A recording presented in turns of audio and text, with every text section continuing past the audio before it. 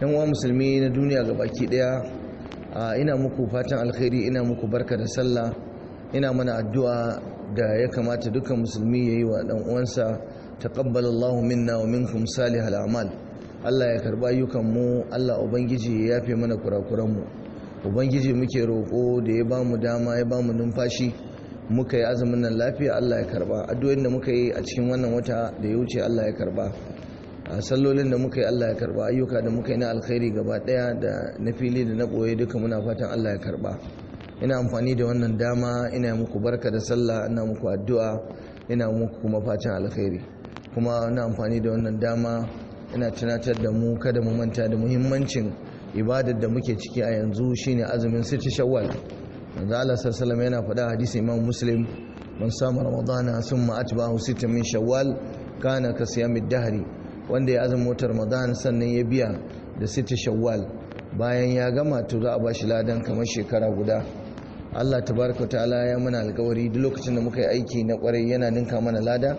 Alhasanu alhasanatu bi hashri bi ashri amsalha dukkan aiki mai kyau ana ninka maka ladan har zuwa goma.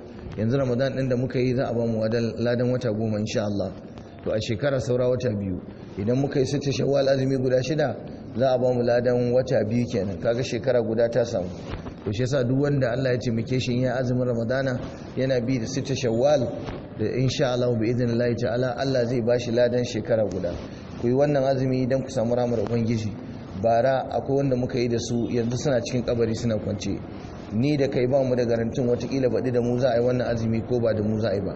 Ku amfani da wannan dama ku yi wannan azumi na sita shawwal ku raya sunnar manzon Allah sallallahu alaihi wasallam ku nuna wa duniya cewa kuna son annabi kuma kuna son ramar Allah da jin kayin ubangiji tabaraka ta'ala.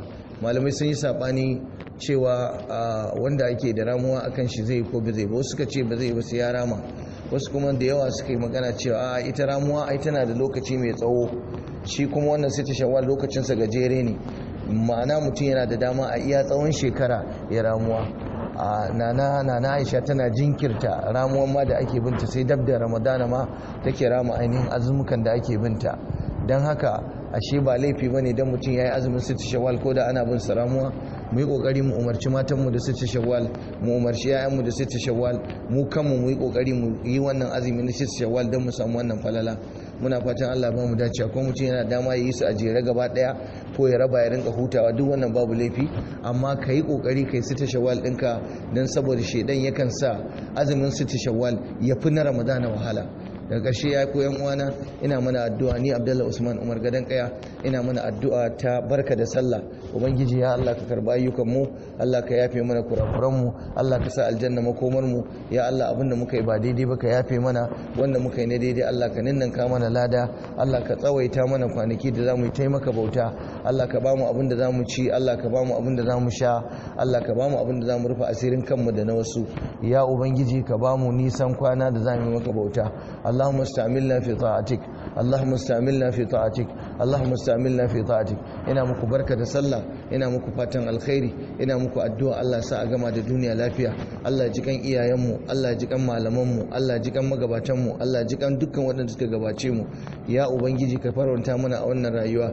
Karma mu da rayuwa ta kaskanci karma mu da rayuwa ta tsoro karma mu da rayuwa ta talauci. Ubangiji Allah ka sa mu fi ƙarfin abin da za mu ci mu fi ƙarfin abin da za mu sha.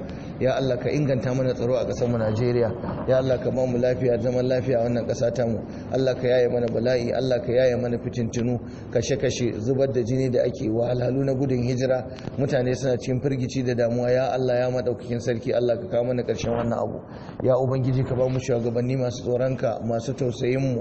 waɗanda za su ji kanmu ya ubangiji ka ba mu shugabanni masu kishin al'ummar su masu kishin ƙasar su ya ubangiji mu kuma ka sanya mu zama masu biyayya ga shugabannin mu ya ubangiji Allah ka sa mu cika da imani ina muku barka da sallah ina muku fatan alkhairi wassalamu alaikum wa rahmatullahi wa barakatuh